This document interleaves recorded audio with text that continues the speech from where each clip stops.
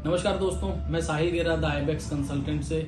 अभी तक अगर हम नॉर्थ इंडिया की बात करें तो काफ़ी ऐसे स्टूडेंट्स ऐसी प्रोफाइल्स हमारे पास आती हैं, जो कि मैरिड एप्लीकेंट हैं। और मैरिड एप्लीकेंट की अगर बात करते हैं तो मैक्सिमम स्टूडेंट्स की जो प्रेफरेंस रहती है, वो है ऑस्ट्रेलिया क्योंकि रीजन एक ही है कि स्टूडेंट एक साथ ट्रेवल कर सकता है। सेकंड प्रेफरेंस ऑब्वियसली यूके आ जाती है, क्योंकि मैरिड एप्लीकेंट को हमेशा मन में ये रहता है कि हम लोग एक साथ ट्रेवल करें। तो कनाडा को कोई इस चीज़ की प्रेफरेंस नहीं समझ के चलता, क्योंकि कनाडा में एक मैं इस चीज़ को मिथ कहूँगा कि एक मिथ है कि इकट्ठे आप लोग ट्रेवल नहीं कर सकते। मतलब एक स्पाउस जो एप्लीकेशन है हस्बैंड वाइफ एक साथ ट्रेवल नहीं कर सकते अगर उन्होंने स्पाउस केस अप्लाई करना है। लेकिन अभी रिसेंटली हमारे कुछ वीजाज आए हैं।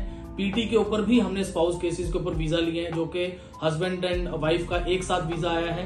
तो आप भी अपनी एप्लीकेशन प्रोसेस करवा सकते हैं, चाहे आपकी एस डी एस एप्लीकेशन है या non S D S application है लाइक आपने पीटी कर रखी है, या फिर आईएस क्यू है six point five not less than six या सिक्स ओवरऑल सिक्स ईच के साथ आपने ग्रेजुएशन ऑलरेडी कर रखी है, ये कंडीशन ज़रूर रहेगी कि ग्रेजुएशन जो है प्राइमरी एप्लीकेंट की, वो मस्ट है।